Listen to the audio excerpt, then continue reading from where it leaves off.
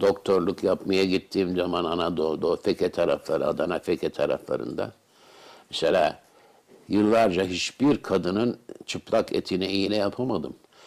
Hep şalvarın üstünden yapıyordum.